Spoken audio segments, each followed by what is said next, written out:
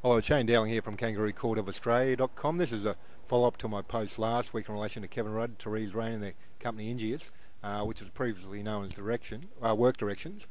Uh, back in 1989 when they set the company up, uh, Kevin Rudd was the Chief of Staff to the then Opposition Leader Wayne Goss.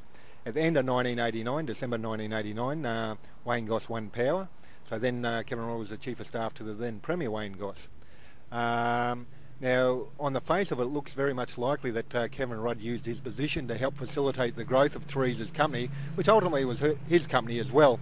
Now, I'm here with Des O'Neill in Brisbane, uh, outside Kevin Rudd's Morningside office, and he, he has some further information. Shane, I'm a former executive member of the State Public Services Federation. That's the union which covered state public servants in the state of Queensland. It's now known as the Together Union.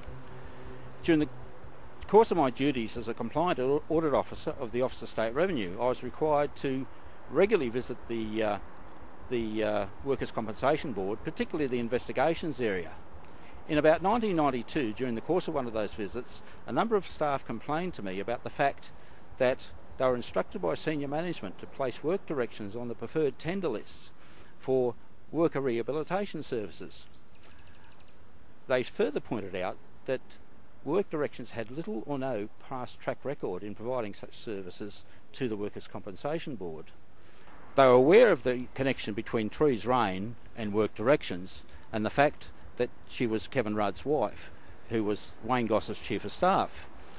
The position of General Manager of the Workers' Compensation Board had been recently advertised, and the incumbent uh, individual was unsuccessful in obtaining the position.